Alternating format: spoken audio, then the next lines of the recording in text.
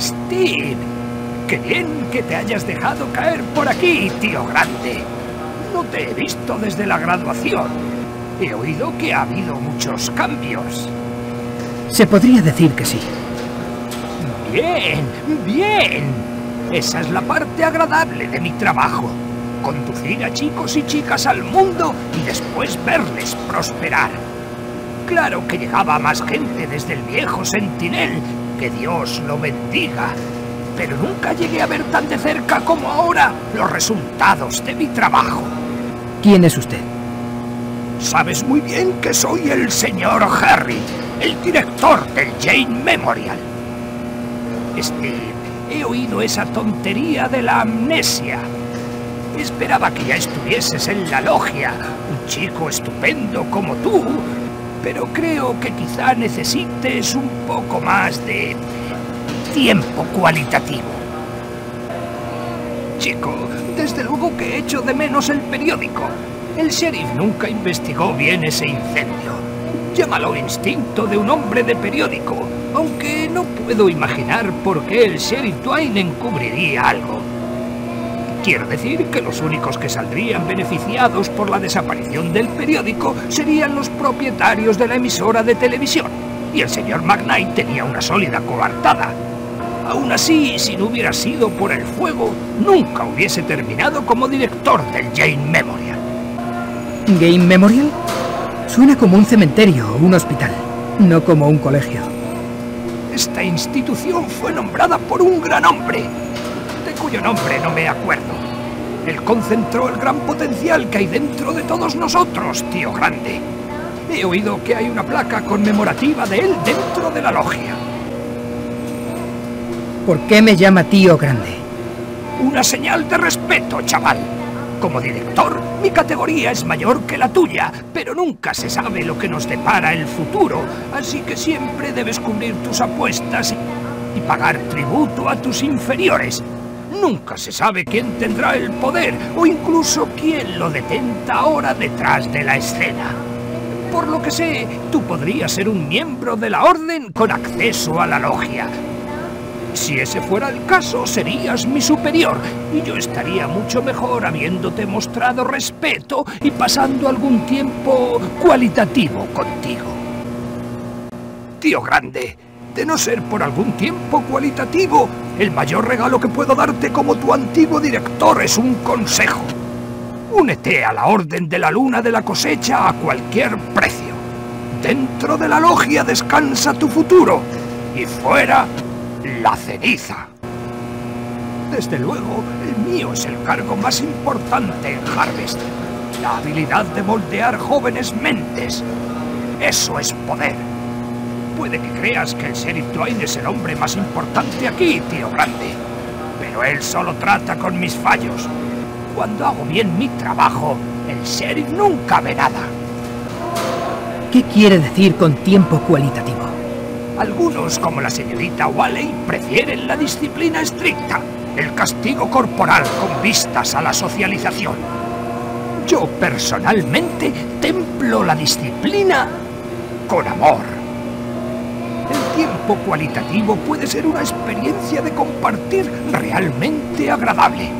Después de unas pocas sesiones, dejarías esa tontería de la amnesia y te harías un miembro productivo de nuestra sociedad y un estupendo candidato para la logia. Tú has salido muy bien, excepto por esa tontería de la amnesia. No es una tontería. Bueno, siempre fuiste un bromista, Steve. Quizá necesites que se te corrija un poco. Ah, las cosas que podría hacer contigo. Serías un joven mucho mejor con solo un poco de tiempo cualitativo. Déjate caer pronto por aquí. La educación de adultos es una cosa maravillosa, como lo es el tiempo cualitativo para adultos.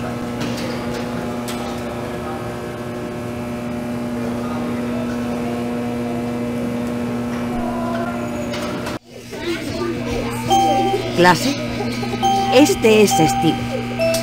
Fue un estudiante aquí en el Jane Memorial. Decizo la clase. Son reticentes. El mayor problema de los educadores hoy en día es la apatía de los estudiantes. ¿Qué les pasa en sus cabezas? Te lo puedo decir en una palabra, Steven. Disciplina. Gracias a Dios que tú no eras un oso malhumorado. Siempre fuiste un oso sonriente. Entonces, ¿se acuerda de mí? No exactamente. Tantos alumnos vienen y van, Steven. Pero siempre puedo darme cuenta de quiénes eran buenos chicos.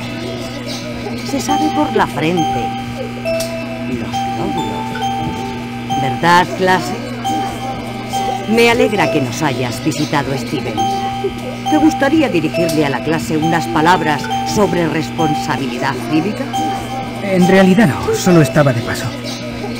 Pero debes hacerlo, Steven. Un modelo positivo puede que sea justo lo que inspire a estos pequeños monstruos. Steven, ¿tiene alguna pregunta que hacerme o continúo con mi clase? Pregunta entonces. ¿Puede decirme algo sobre Harvest? Harvest fue fundado por la Orden Luna de la Cosecha hace aproximadamente 100 años.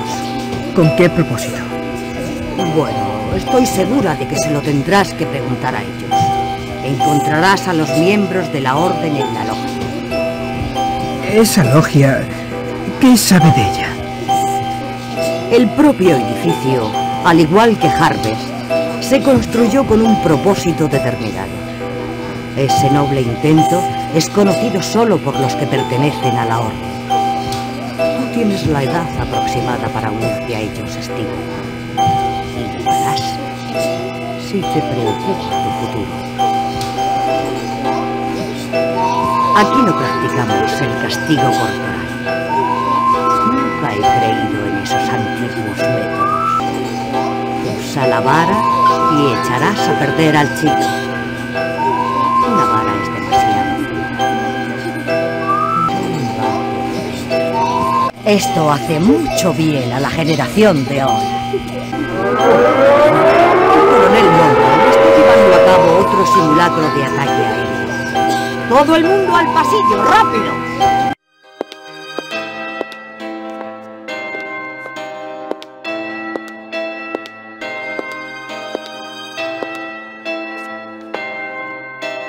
Si cayera una bomba, ¿de qué serviría agacharse y cubrirse?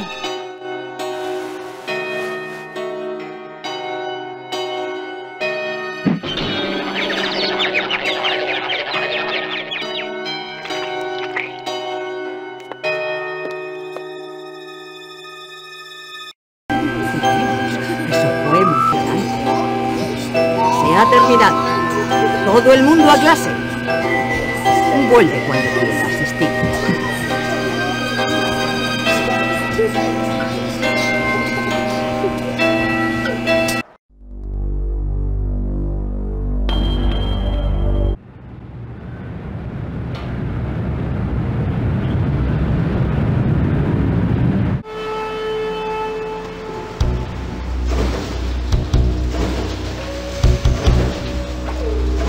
Steve, ¿cómo está tu padre? ¿Se encuentra mejor? Aproximadamente igual, supongo. Lleva sin venir al trabajo desde hace semanas. Y cuando llamo a tu casa, tu madre no me deja hablar con él. Yo tampoco le he visto. Debo decir que este es un estupendo caldero de pescado. Aunque me alegra que te tomes interés en el negocio familiar en ausencia de tu padre. ¿Quién eres tú?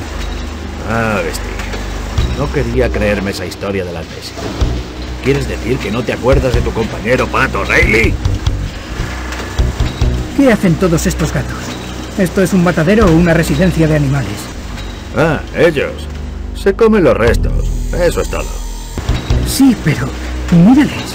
¿No hay algún tipo de departamento de salud que tenga normas sobre estas cosas? Steve, ¿vas a trabajar en el departamento de salud o aquí? Es bueno saberlo. Tu padre estará muy contento. Si se recupera. Yo solo decía que no se deberían permitir animales en el área de procesamiento de la comida, ¿verdad? No les dejamos que se metan en la carne. Eso no es higiénico. Y el departamento de salud no lo permitiría. Hay cosas que no sabes del negocio familiar, pero las aprenderás. Ahora que lo pienso, no veo ganado por aquí. ¿Dónde guardáis a los animales? ¿Qué final es por lo único que el cliente se preocupa, Steve. Y nosotros solo suministramos la mejor carne. Solo los cortes más jugosos. Una vez que te hagas con el negocio, te darás cuenta de la importancia de mantener la calidad mientras se reducen los costos. Sabemos lo que hacemos, Steve. Si no lo supiésemos, ¿seríamos los suministradores de carne para los eventos de la logia? Escucha, Steve. Nunca había un grupo de gente tan sobresaliente como a los de la Orden. Tienes que pensar en unirte a la logia. De verdad te lo digo. Hay algunos trucos en el negocio, Steve.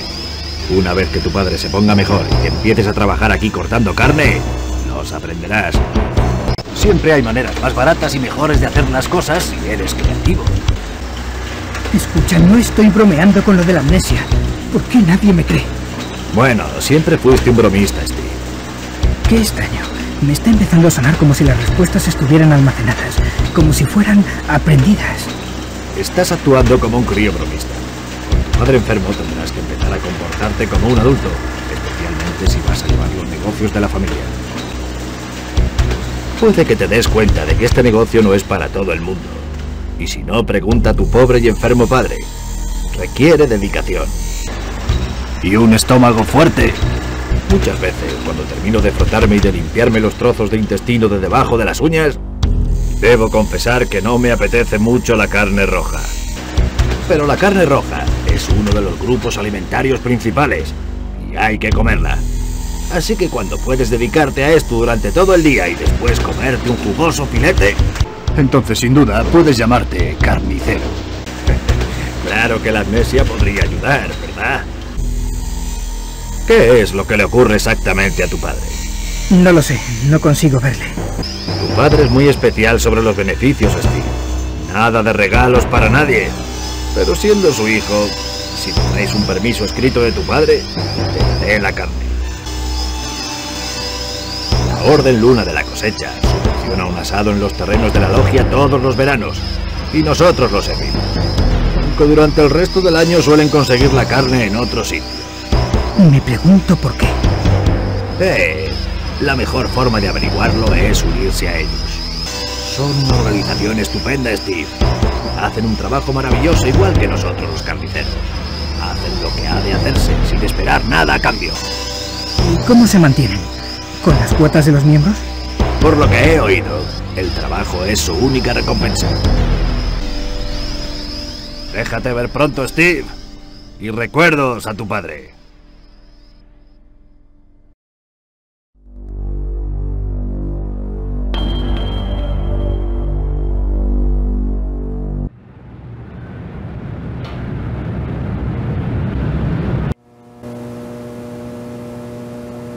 Lo siento, hijo, no hay tiempo para hablar. Ni la lluvia, ni el granizo, ni la nieve, ni el infierno apartarán al correo de sus citas. Lo perdí hace meses. Siempre quiero hacerme con otro, pero... Bueno, el botón es muy elegante. Para conseguir otro tengo que rellenar un S411 para Washington, pero la verdad es que no me viene bien el trabajo extra. Me encantaría encontrarlo. Mi botón. Pero si lo perdí hace meses. ¿Dónde lo has encontrado? Qué extraño. Lo encontré entre los escombros, en el edificio del periódico. ¿Qué insinúas? ¿Que yo tuve algo que ver con el incendio? Eso es absurdo. Más de un centenar de personas deben haber visitado ese lugar desde el incendio. ¿Y qué si lo hice? Supongo que yo le estaría agradecido a quien me ayudara a salir de esta situación. ¿Cómo? Pareces un chico capaz. Digamos, hipotéticamente, que hubiese una lata de gasolina en la sala de evidencias de la oficina del sheriff. Una lata de gasolina que pudiera tener algunas huellas incriminatorias en ella. Alguien podría estar muy agradecido por la devolución de la lata. Digamos que lo suficientemente agradecido como para proporcionarle a quien me devolviese la lata una solicitud para la logia. Ah, y Steve, te guardarás esto para ti si eres listo.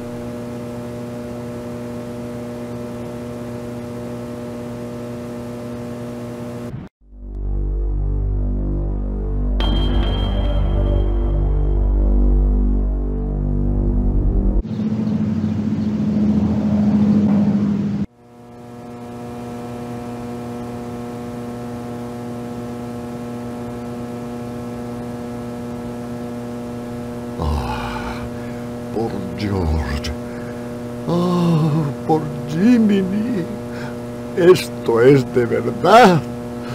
Oh. ¿Puedo quedármela? Oh, oh, gracias. Steve, toma. Déjame que te pague por esto. Perdona, chaval.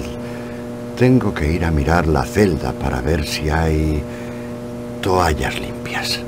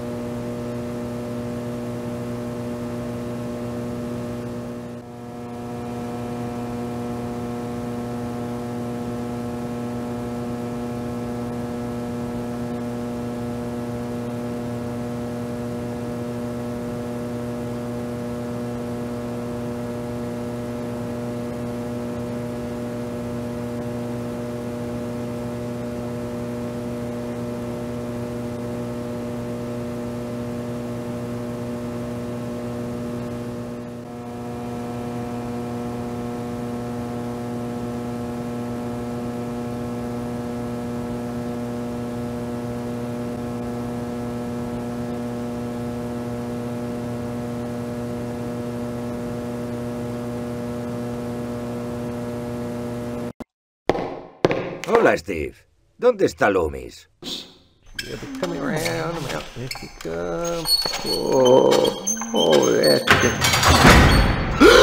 ¡Loomis, maldito seas!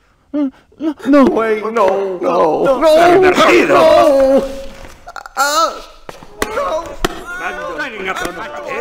¡Doblando las caballas! ¡Enganchando a las serpientes!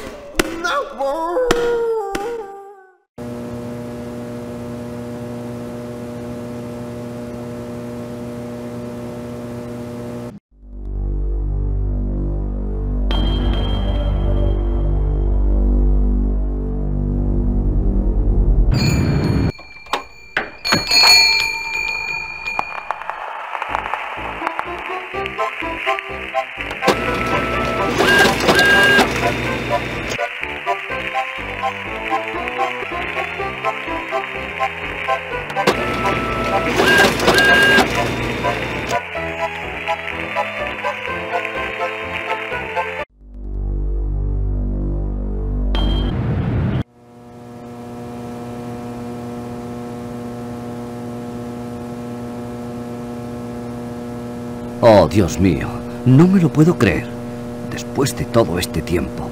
¿Dónde está mi solicitud, Boyle? Aquí, toma. Con mi agradecimiento. ¿Sabes? Esta mañana, cuando hacía mi recorrido, he visto una enorme cantidad de horribles antenas en los tejados. Parece que hay más y más cada día. Me has traído la lata justo a tiempo, jovencito. Puede que la necesite de nuevo. ¿Qué quiere decir? Hay otra razón por la que el sheriff Twain no investiga el incendio del Sentinel. Si quieres añadir algo más al chantaje, échale un vistazo a la emisora de televisión mientras puedas.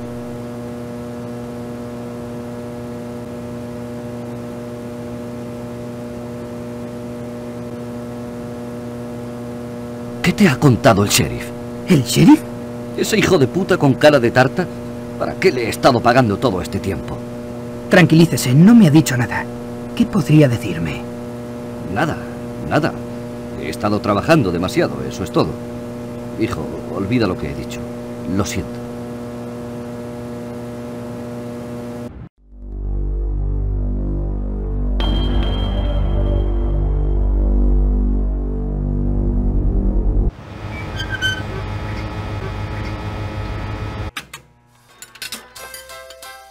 Hola, Steve.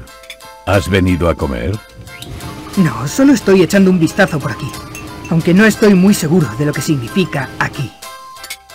Oh, eh, me olvidé de que estabas jugando a eso de la amnesia. Bueno, chico, esto es el restaurante DNA. ¿No es así, Edna? No hagas caso al sheriff Dwayne. Este es el restaurante Edna. Pero desde que se quemó la E del rótulo, se han estado burlando. Vaya, no seas así, Edna. Es un lugar estupendo para comer. Y eso es bueno porque es el único sitio donde se puede comer en Harris. Creo que presenciaste como la señorita Wally dispensaba un poco de disciplina en el colegio. Y ahora ella piensa que puedes sentirte un poco molesto por ello. Tienes que olvidarte de ello, chico. Yo no me meto en la disciplina del colegio. Se lo dejo a los profesionales. Y eso es lo que tú deberías hacer. Demonios, no hay ningún psiquiatra por aquí que no estaría de acuerdo en la influencia tranquilizadora que puede tener un golpe en la cabeza. No puedes discutir con la ciencia, Steve. Es más grande que todos nosotros.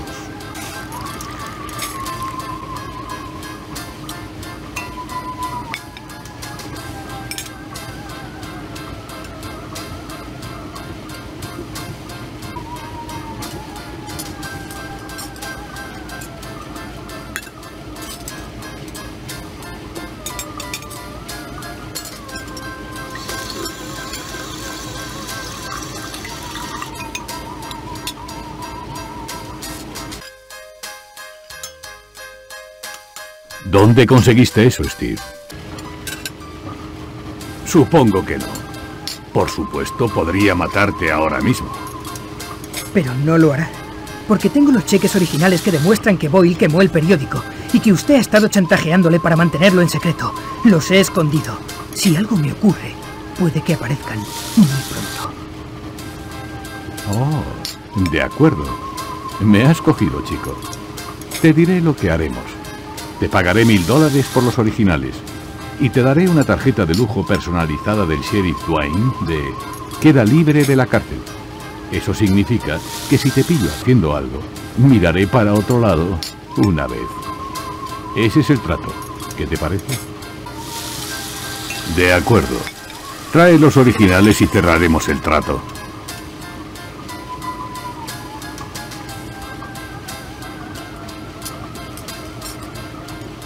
En efecto. Y usted dijo algo sobre mil dólares y una tarjeta de queda libre de la cárcel. Sí, pero ¿puedes darme una buena razón para no matarte ahora mismo y recuperarlos? Sí, lo has hecho bien, Steve.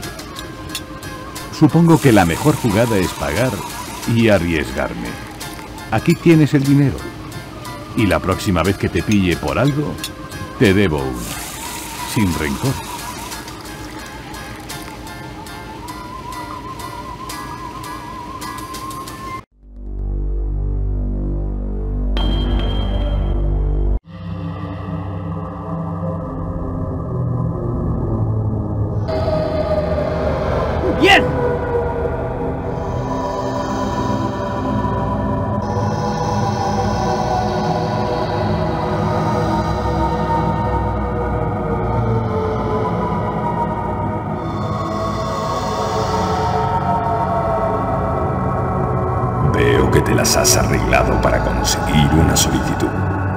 Eso demuestra que tienes recursos, una característica deseable en un posible miembro. Necesitas descansar. Vuelve después del miércoles para conocer tu próxima misión.